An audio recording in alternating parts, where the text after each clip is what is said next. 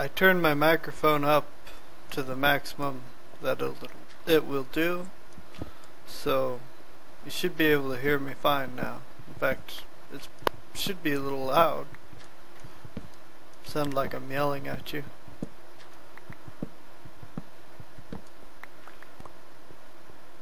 It's hard to get it because I listen all my sound goes through 3D sound software. And uh, it has a tendency to make it sound louder